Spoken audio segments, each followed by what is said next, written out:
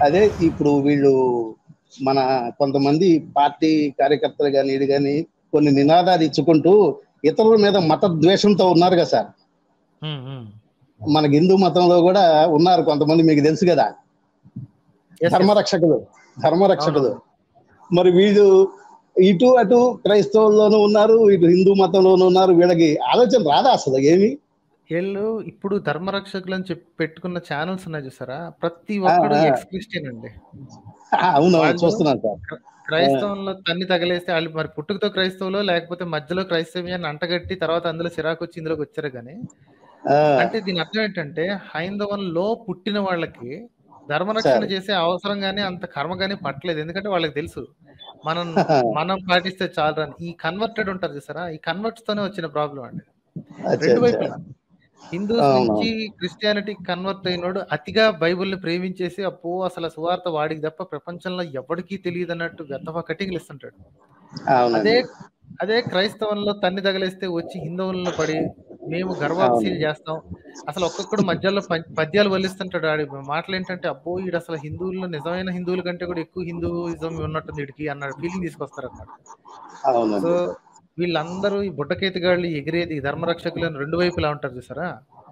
మేము సువార్తల్ని ప్రభా చేస్తామని చెప్పి పిల్ల పాస్టర్లు అనమాట అంటే కొత్తగా సువార్థికుడు అని చెప్పుకుంటారు ఇవాంజలికల్స్ అనమాట సువార్థికుడు నేను పాస్టర్ని కాదు ఇవాంజలికలు నేను సువార్తని ప్రచారం మాత్రం చేస్తాను అనుకునే వాళ్ళు ఉంటారు. వీళ్ళందరూ కూడా మాజీ హిందువులు. ఇప్పుడు నెత్తి మీద బొట్టు పెట్టుకుని ఒక్కొక్కడు హైపర్ హిందువులాగా ప్రతిదానికి జై శ్రీరామ్ జై శ్రీరామ్ అనుకుంటాడు? ప్రతి ఒక్కడు కూడా ఎక్స్ క్రిస్టియన్ మాజీ క్రైస్తవుడు. సో వీళ్ళు వీళ్ళు కొట్టుకుంటున్నారు ఆ మాజీ వాడు ఈ మాజీ వాడు కొట్టుకుంటున్నాడు. అది దరిద్రం ఏంటంటే మాజీలు మాజీలు కొట్టుకుంటుంటే మిగతా వాళ్ళు నోరాలు పెట్టి చూసి వాళ్ళకి డబ్బులు ఇస్తున్నారు రెండు వైపుల వాళ్ళకి. అవును సార్ అవును అవును. అది అలా అలా తయారైంది మతాల కర్మ ఏంటంటే ఇప్పుడు. వాడు అందులోంచి వచ్చాడు కాబట్టి అందులో ఉన్న దరిద్రాలు వీడికి తెలుసు. వీడు ఇందులోంచి అటు వెళ్ళాడు కాబట్టి ఇందులో ఉన్న దరిద్రాలు వాడికి తెలుసు. అవును. సో ఇద్దరు అదే ఎక్స్పోజ్ సార్. చేసుకుంటూ కూర్చున్నారు. ఆ, ఎదుటాడి కంటో ఈ దూలం ఉన్నా గానీ ఆ ఎదుటాడి కంట్లో నలుసు కనపడుతుంది కానీ వీడికి ఈ కంట్లో ఉన్న దూలం కనపడట్లేదు. కనపట్లేదు అది. అదే అదే. సార్ ఇంకొకటి ఈ భారతదేశంలో ఉన్న ప్రజలు ఈ బ్రాహ్మణ భావజాలం బ్రాహ్మణ బానిసత్వం నుంచి బయటపడలేరు అప్పుడప్పుడే చెప్పాను కదా ఇంకో రెండు మూడు తరాలు పడుతుంది ఫస్ట్ థింగ్ అవ్వాల్సింది ఏంటంటే ఇది. పేరేంటి? కుల కులాంతర వివాహాలు విపరీతంగా జరగాలి. వాళ్ళని ప్రొటెక్ట్ చేయాలి. ఇప్పుడు భయం ఏంటంటే కులాంతర వివాహం చేసుకుంటే ఆఖరికి కూతుళ్ళని కొడుకుల్ని చంపేసుకోవడానికి సిద్ధపడుతున్నారు నీచులు. అవును సార్ వీళ్ళు. వీళ్ళు మనుషులకు పుట్టారో మరి కులాలకు పుట్టారో మలాలకు పుట్టారో తెలియట్లేదు కానీ ఆఖరి సొంత కూతుర్ని ఎలా చంపబుద్ధి అవుద్దో నాకు అర్థం కాదండి. అన్నాళ్ళు. పెంచుకున్న అన్నాళ్ళు అపరూపంగా పెంచుకున్న వాళ్ళని ఎలా చంపబుద్ధి అవుతుందో నాకు అర్థం కాదు. ఇంత దుర్మార్గులు ఎలా ఉన్నారు? అలాంటి వాళ్ళు అసలు తల్లిదండ్రి అనిపించుకోవడానికి అర్హత లేదు వాళ్ళకి.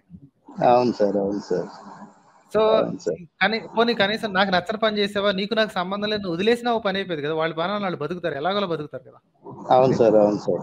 కష్టాన్ని కష్టపడి ఏదో ఒకటి బతుకుతారు. అది కూడా కాకుండా చంపేసి అంత వరకు వస్తున్నారంటే అలాంటి దుర్మార్గులు ఉన్నందుకు మనం సిగ్గుపడాలి. అలాంటి వాళ్ళు మన ఫ్రెండ్స్ అయితే వాళ్ళని వాళ్ళ జీవితాంతం వాళ్ళని వెలేయాలి అని అడిగితే. అంత అంత నీచప్ మెంటాలిటీ ఉన్న వాళ్ళు మనకు మనుషులే కారండి అసలు. బయటపడరు కదా సార్ అసలు వాళ్ళు. అంత నీచ మెంటాలిటీ ఉన్నట్టు బయటపడరు అసలు.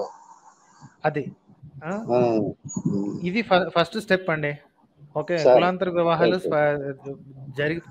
జరిగితే అలా కులాంతర వివాహాలు చేసుకున్న వాళ్ళ ప్రాణాలకు ఏమన్నా హాని జరుగుతుందంటే మిగతా వాళ్ళు వాళ్ళని ప్రొటెక్ట్ చేయాలి. Right? Because. They are the pillars. వాళ్ళ వల్లే. నెక్స్ట్ జనరేషన్ వస్తుంది. ఇది అయిన తర్వాత నెక్స్ట్ కావాల్సింది ఏంటంటే వీళ్ళు ఈ ధర్మరక్షకులు రెండు వైపుల నుంచి కొట్టుకుని చేస్తున్నారు సరే వీళ్ళని కూడా నేను ఇండైరెక్ట్గా ప్రమోట్ ప్రమోట్ చేస్తూనే ఉంటాను. ఎందుకంటే ప్రతి ఒక్కడు పక్కనోడు బొక్కలు ఎతికి చూపిస్తున్నాడు. అవునండి.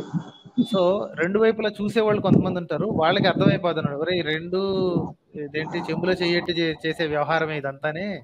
ఎవరి దగ్గర ఏమి ఎవడు పవిత్రం కాదు ఇక్కడ. అందరూ దిక్కుమాలిన పనులు చేశారు. అందరి దేవుళ్ళు చెత్త పనులు చేశారు. అందరి పుణ్య పురుషులు పురాణ పురుషులు అనుకునే వాళ్ళు అందరూ తప్పుడు పనులు చేశారు. సో ఇక్కడ మాది పవిత్రం పక్కనోడు అపవిత్రం అనేది ఏమీ లేదు. మ్లేచ్ఛ మతాలు పాషాణ మతాలు ఏం లేవు. ప్రతి ఒక్కటి మ్లేచ్ఛమే ప్రతి ఒక్కటి పాషాండమే ఇక్కడ. సో ఇవన్నీ తెలుసు. ఇవన్నీ తెలుసుకుంటూ ఉంటారండి మెల్లిగానే అది. అవును. సార్ ఇది ఇప్పుడు వీళ్ళిద్దరూ కొట్లాడుకునే కొట్లాట చూస్తే. మామూలు న్యూట్రల్గా ఉన్నటువంటి మనుషులు దేవుడు లేడు అనే నమ్మకమే పెరుగుతుంది అనుకుంటున్నాను వీళ్ళల్లో ప్రజల్లో. అలా కాకపోయినా సరే వీళ్ళిద్దరు అబద్ధ అబద్ధపు వాగుడు వాగుతున్నారన్న విషయం అయితే బయటపడతండి అబద్ధాలే చెబుతున్నారు. అది మామూలుగా న్యూట్రల్గా ఉంటారు కదా సార్ తొందరగా నమ్మకుండా దేవుడు ఉన్నాడని భక్తి భావంతో ఉండేవాళ్ళు. వాళ్ళు కొంత మార్పు వస్తుందని నేను అనుకుంటున్నాను నేను. అట్లీస్ట్ వాళ్ళు అగ్నాస్టిక్ లాగా వెళ్తారండి. And that is one. Step in the right direction అది కరెక్ట్ అది అదే పర్మనెంట్ పొజిషన్ కాకపోయినా సరే దేవుడు దేవుడు అన్న విషయం మతం అనేది వాళ్ళ జీవితంలో టైం ని తగ్గిస్తే ఆటోమేటిక్గా. గెలిచినట్టేనండి. కావాల్సింది ఏంటి అంటే వాళ్ళు మతం వదిలేసేసి "లేదు, దేవుడు లేడు అని చెప్పి నాస్తిక జెండా ఎత్తుకుని తిరగమని నేను అనట్లేదు జస్ట్ ఒరే ఈ దేవుడి పేరు మీద చెప్పుకునేదంతా వ్యాపారమే అన్న విషయం వాళ్ళు అర్థం చేసుకుంటే ముందు వాళ్ళు టైము డబ్బులు కాపాడుకుంటారండి. వారానికి ఇన్ని గంటల పాటు చర్చిలకి గుళ్ళకి పోయి ఆ సన్నాసుల దగ్గర డబ్బులు తగలేసే కంటే ఆ ఆ. టైంని తీసుకెళ్ళి ఫ్రెండ్స్ తోనో ఫ్యామిలీతోనో గడపచ్చు. అదొకటి. తెలుసుకుంటారు. డబ్బులు. వేలకు వేలు తీసుకుపోయి ఆ సన్నాసుల దగ్గర పాస్టర్ల దగ్గర ఈ స్వాముల దగ్గర పడేసే కంటే ఆ డబ్బుల్ని మనమే మన కుటుంబానికి స్పెండ్ చేసుకోవచ్చు. ఇది. ధనము మా ధనము ఇంకా సమయం మిగులుతుందండి. అది చాలు మనకి.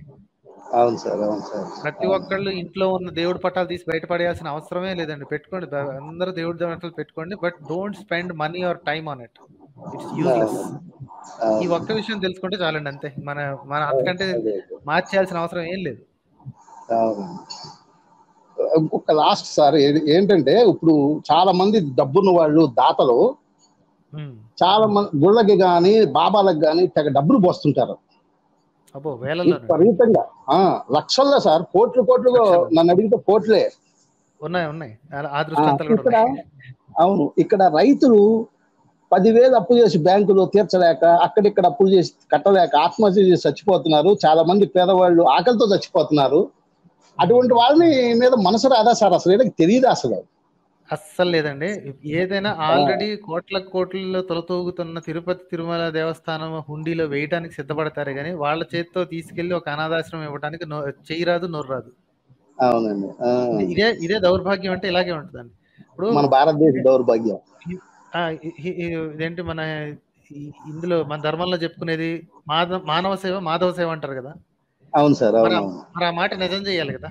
మానవుడికి చేయాలండి. సేవ చేయండి ఆల్రెడీ కష్టంలో ఉన్న మానవులు చాలా మంది ఉన్నారు. ఏంటి అసలు చెప్పుకోవడం నాకు ఈ కష్టం ఉందని చెప్పుకోలేని వాళ్ళు చాలా మంది ఉన్నారు. అనాథాశ్రమంలోని వృద్ధాశ్రమంలో ఉన్నారు. అక్కడికి వెళ్ళి ఇవ్వచ్చు కదా? తీసుకెళ్ళి. అంటే వీళ్ళంతా లంచగొండులండి. ద హోల్ థింగ్ మతాలన్నీ కూడా లంచం మీద లంచగొండితనం మీదే బతుకుంది నేను దేవుడికి ఇంత ఇస్తే నాకు తిరిగి ఇంత వస్తది. ఇది వ్యాపారం పూర్తి వ్యాపారం భక్తులే. ఇంత లంచగొండులుంటే ఇక మరి దేవుడు ఇంకెంత లంచగొండ అయి ఉంటాడండి వీళ్ళ దేవుళ్ళు? నాకేంటి? అదే కదా ప్రతి ప్రతి అబ్రహామిక్ రిలీజన్ అయినా వీడైనా నాకేంటి? నాకెంత. ఇస్తున్నావు నువ్వేమి ఇస్తున్నావు అవునండి. నాకు? నీ అవును ఇస్తున్నావా నీ జుట్టు ఇస్తున్నావా లేకపోతే నీ నీ డబ్బులు ఇస్తున్నావా ఏమి ఇస్తున్నావు నాకు? సో లంచగొండితనం మీద మతాలన్నీ ఏర్పడ్డాయండి. ఇస్తే అంటే నీకింత. నాకింత. నేను నీకు పది రూపాయలు. ఇస్తాను నీ నీ హుండీలో వేస్తాను నాకు లక్ష రూపాయలు లక్ష రూపాయలు లాభం వచ్చేలా చెయ్యి. మళ్ళీ వాటాలు కూడా. ఇదంతా కొనుక్కోవడం మళ్ళీ వాటాలు కూడా. నాకు ఇంత లాభం వస్తే నీ నీకు అందులో టెన్ పర్సెంట్ ఇస్తానన్న ఒకడు ఫిఫ్టీన్ పర్సెంట్ ఇస్తానన్న ఒకడు బంగారు. రొయ్య బొమ్మ వేస్తానన్న ఒకడు నాకు రొయ్యల చెరువులో లక్షల లక్షలు బాగా కోట్ల కోట్ల లాభం వస్తే బంగారు రొయ్య బొమ్మలు తయారు చేసి ఎవడో వేసాడంటండి. తిరుమల హుండీలో. అవును సార్ పాతికో ఎన్నో బంగారు రొయ్య బొమ్మలు దొరికాయంట. వాడెవడో రొయ్యల చెరువులు రొయ్యల చెరువులో బాగా లాభాలు సంపాదించాడు. సో అది తీసుకొచ్చి అక్కడ ఇచ్చాడు. ఆ. బంగారం తీసుకెళ్ళి ఆల్రెడీ కోట్లలో తొలతూగుతున్న తిరుమల దేవస్థానానికి ఏలనిపించింది కానీ అదే తీసుకెళ్ళి వాడే ఒక స్కూల్ పెట్టచ్చండి. అవునండి అవునవును. ఆడే ఒక స్కూల్ పెట్టొచ్చు కనీసం హాస్పిటల్ అన్న పెట్టొచ్చు. బాగా ఏంటి హాఫ్ రేట్లో ఒక ధర్మాసుపత్రి లాగా తయారు చేయొచ్చు. కానీ చేయలేదు. అవునవును? గాలి జనార్దన్ రెడ్డి ఉంటుంది కదా సార్? కోట్ల రూపాయల కిరీటం. అదే అదే చెప్తున్నా. అలాంటి. దాంతో ఎన్ని ఎన్ని పుణి సొ- సొంత పేరు వాళ్ళ సొంత నాన్న పేరో లేకపోతే ఎవరి పేరో ధర్మాసుపత్రి పెట్టచ్చు కానీ కనీసం కొంతమంది ఇచ్చేస్తారు ఇందుకే ఇలాంటివి ఉండబట్టి ఎన్ని స్కాములు చేసినా ఎన్ని దుర్మార్గాలు చేసినా ఎన్ని తప్పు పనులు అభియోగాలు వచ్చినా సరే ఉమ్, పుట్టపర్తి సాయిబాబాని ఆయన ఇది దాన్ని నేను ఎక్కువగా విమర్శించింది ఎందుకంటే ఒక ధర్మాసుపత్రి పెట్టాడండి. పెట్టాడు సార్ అవును. అది. ఇప్పటికి కూడా ఫ్రీయే. బెంగళూరులో ఇదిలో ఉంటుంది. బెంగళూరులో చివరిన ఉంటుంది కదా బెంగళూరు అవుట్స్కట్స్ దగ్గర ఉంటది. ఇప్పటికి కూడా. ఫ్రీయేనండి అందులో ఎవరన్నా గర్భిణీ వెళ్తే వాళ్ళకి పైసా తీసుకోరు మొత్తం అంతా స్టార్టింగ్ నుంచి. ఎండింగ్ వరకు మొత్తం అంతా వాళ్ళే డెలివరీ చేసి పిల్లని చేతిలో పెట్టి పంపించేస్తారు. ఇప్పుడు పక్కన మనిషికి చేస్తున్నప్పుడు నువ్వు స్కామ్ ఏంటి? చట్టం చేయాల్సిన పని చట్టం చేయాలి. కాకపోతే జనాల అమాయకత్వంతో నువ్వు డబ్బులు సంపాదించావు బానే ఉంది. కనీసం ఇంకొక పది మంది బాగుపడుతున్నారు. అది కరెక్ట్. నేను అనట్లేదండి అది. మోసం చేయడం కరెక్ట్ అని నేను అనట్లేదు. కాకపోతే అదే అదే మనిషి తీసుకుపోయి గుళ్ళల్లో హుండీల్లో వేస్తున్న దానికంటే ఇలా ధర్మాసుపత్రులు పెడితే బెటర్ అంటున్నాను నేను. కంపారిటివ్లీ. బెటర్ ఈ భక్తులు అనుకుని చెప్పుకునే వాళ్ళు వాళ్ళందరికీ గుళ్ళల్లో వాటిల్లో చర్చిల్లో డొనేషన్లు ఇచ్చేవాళ్ళు. ధర్మాసుపత్రి పెట్టి వాళ్ళ నాన్న పేరు పెట్టుకోమనండి. గౌరవం కదా. వాళ్ళ నాన్న పేరు పది మంది తీసుకుంటారు పరానా ఆయన అని గొప్పగా చెప్పుకు చెప్పుకుంటారు కదా. అవును సార్ అవును సార్. ఆ తెలివి రావట్లేదండి జనాలు. డబ్బులు తీసుకెళ్ళి. ఎలా తగలేయాలని ఆలోచిస్తారు కానీ సన్నాసులు. ఎందుకు పనికిరాని జ్యోతిష్యులు వాళ్ళ మీద డబ్బులు పారే- పారేద్దామని చూస్తారు కానీ ఇట్లాంటి ఐడియాలు రావు. Okay. Sir thank you. Right sir అయితే మీతో మాట్లాడగలిగినందుకు చాలా సంతోషంగా ఉంది sir. Thank you sir thank you. Bye sir. Thank you